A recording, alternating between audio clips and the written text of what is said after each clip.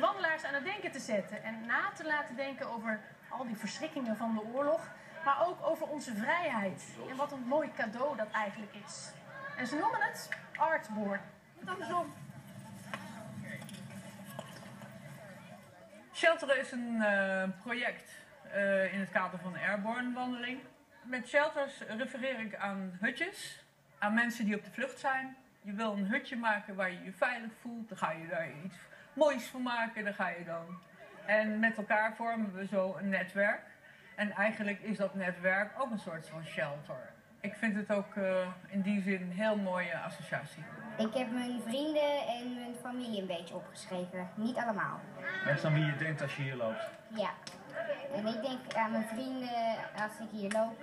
Want ik vind het altijd heel leuk om samen met mijn vrienden te spelen.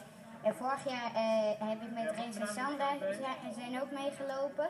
En die staan er dus ook op. Wat heb jij net opgeschreven?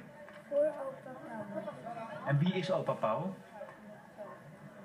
Uh, Paul Vos, de vorige marsleider van de Airborne Wandeltocht. Ja. En uh, uh, sinds, of tweeënhalf jaar geleden overleden.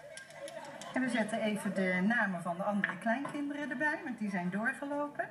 En nou, helemaal geweldig. Ja, fijn. Ik vind het wel een, een vet idee om zo al die shelters te maken van alleen maar plankjes met namen erop. Dat vind ik wel gaaf. Gewoon om al die namen te zien van zoveel mensen waar mensen gewoon om geven.